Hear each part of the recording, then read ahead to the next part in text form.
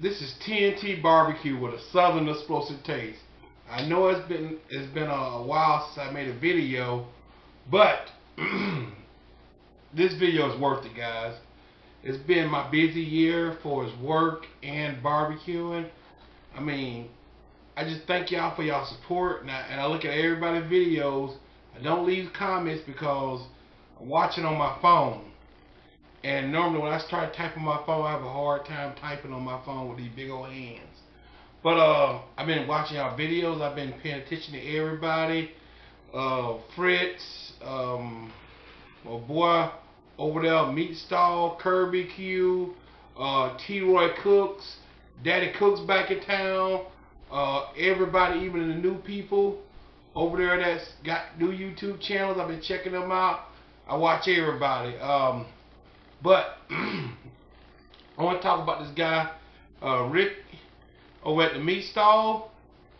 Me and him talk a lot, so we've been talking, and um, what happened was I ran out of uh, a sauce, so he was telling me about this um, this uh, Carolina sauce, and he made it in a video.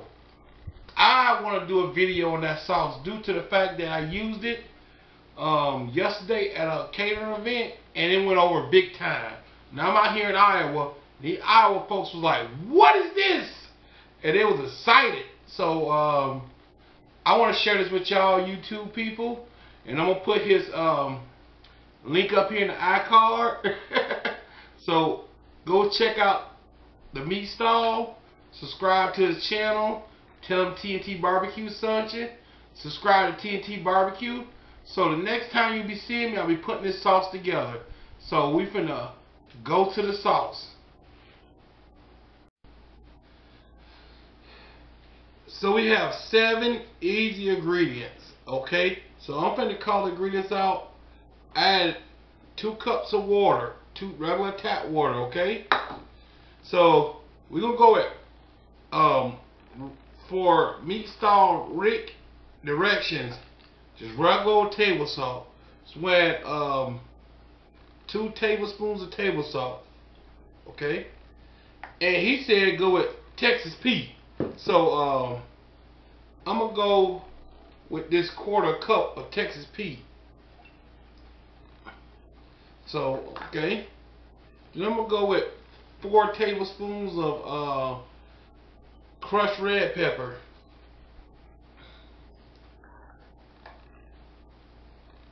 Black pepper. Black pepper right there. So I'm gonna put black pepper in there. And then I'm gonna add one whole cup of apple cider vinegar. I think I'm gonna order uh, half a cup just to see because I want to make sure that it's not as tart. And then I'm adding three cups of brown sugar so, um, packed brown sugar. So what we're going to do is we're going to move all this out of our way. And we can stir. Get it all stirred up, okay?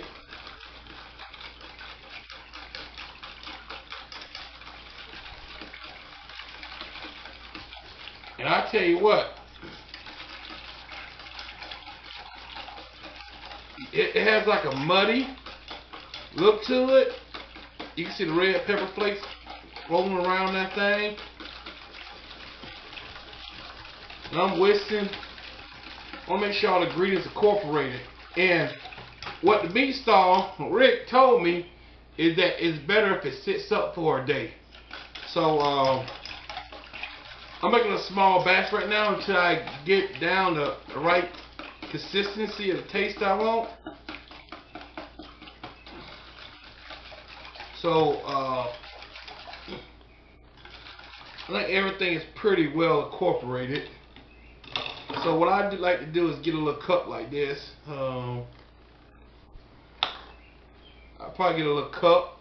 I want to taste it just to see how it tastes, okay? So,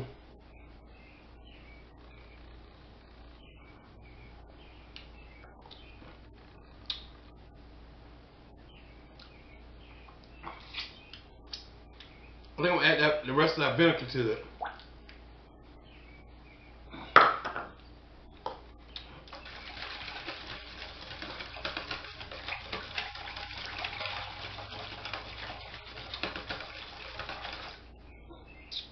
Okay.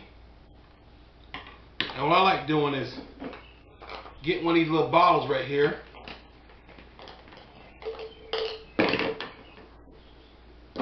Get the strainer.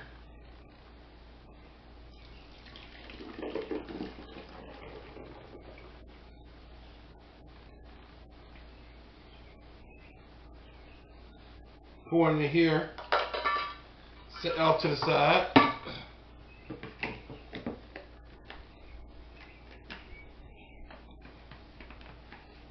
Put the top on it real tight and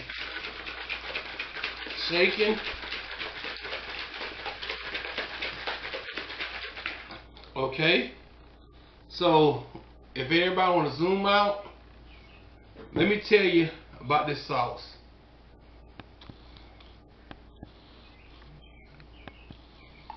And I'm gonna go into the description of this sauce, okay? My what I think is the flavor profiles of this sauce. And um, this sauce is kind of like um, I never tasted nothing like it before. I got like a similar sauce, but mustard, and mustard is pre the predominant taste of that sauce I normally use. But this, it, it, it, it, it, it, it coats the meat a lot better, I think. And this makes pork pop. Slab of ribs, pork butts. You can even use this to mop on some ribs while you're cooking.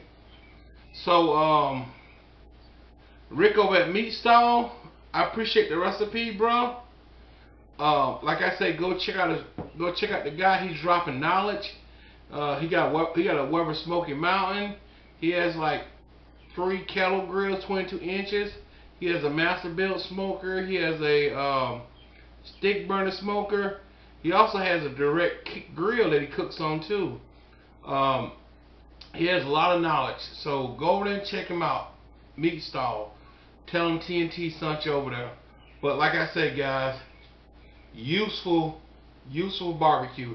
As you can see, the uh, muddy is the muddy kind of look I was talking about. But you can see the peppers, you can see the seasoning. So I'm gonna let this sit up. And I'm just, like I said, this is just something small. I'm gonna make probably two gallons of this. So this, I'm making two gallons of this sauce right here to have on my food truck trailer, so I can um, bring that Carolina taste over here in Iowa. So just remember, guys, like I always say, God bless you, and God bless America. We out of here.